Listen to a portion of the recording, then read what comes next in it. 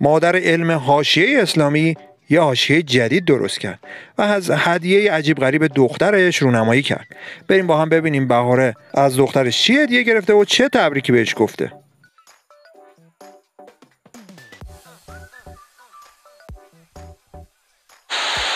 سلام رفقا به کانال خودتون کانال زر تیوی خیلی خیلی خوش اومدی. تو این ویدیو امروز می‌خوایم راجع به تولد و هدیه عجیبی که پریا قاسمخانی دختر بهار رهنما به مادرش داده صحبت بهار رهنما که همین چند روز پیش تولدش بود چند روزی با استوریای تولدش ملت رو حسابی زخمی کرد که یکی از این استوریای تبریک تولد کادوی دخترش پریا قاسمخانی بودش که از این کادوی عجیب غریب رونمایی کرد.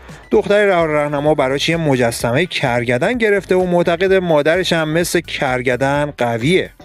تو این استوری بهار راهنما نوشت این کرگدن قشنگترین هدیه تولدم بود تا الان. هدیه دخترم که دیشب برای چندمین بار به گفت مامان من قوی بودن رو از تو یاد می‌گیرم. ماشاءالله که مامانش هم خیلی قویه. تو قوی ترین زنی هستی که تا امروز دیدم. و این جمله دختر قوی و درجه یکی مثل پریا قاسمخانی کم از اسکار نیست برام بلکه هم بیشتر.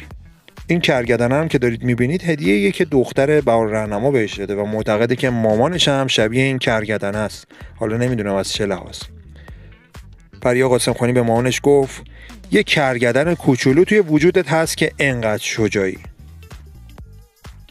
خب دیگه این بودش قضیه کرگدن و هدیه تولد بهار رهنما. به نظر شما بهار رهنما شبیه کرگدنه اگه آره از چه لحاظ؟ از لحاظ سایز و قدرت یا از لحاظ چیز دیگه؟ حتما نظرتون رو توی بخش کامنت ها برام بنویسید. یادتون هم نره که کانال ما رو subscribe کنید و این دکمه لایک رو هم بکوبید. ممنون از همه. امیدوارم همیشه شاد و سلامت و پیروز باشید. تا ویدیوی بعدی خدا نگهدار. پیشنهاد می‌کنم در ادامه یکی از این ویدیوهایی هم که روی صفحه نمایش داده شده رو ببینید.